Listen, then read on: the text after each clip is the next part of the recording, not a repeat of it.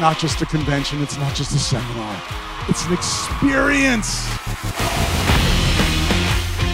As somebody who's been not just a dentist, but I've been a dental coach and consultant for 25 plus years, I have sat in the reception areas of hundreds, thousands of dental practices.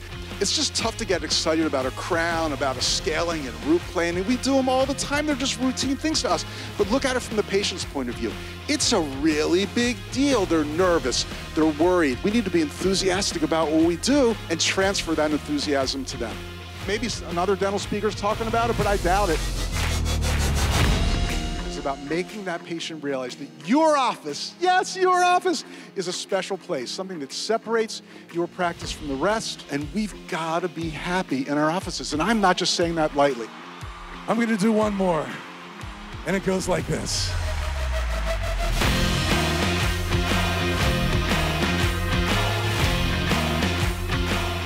There is nothing like not running late. People are accustomed, they make jokes about it. The late night comedians, they all make fun of how you have to sit and wait for your dental appointment. It's unacceptable. Run on time. It's not that hard. But then follow with my magic words, which are don't even sit down. We're ready for you. Come right back. Woo! You guys are the greatest.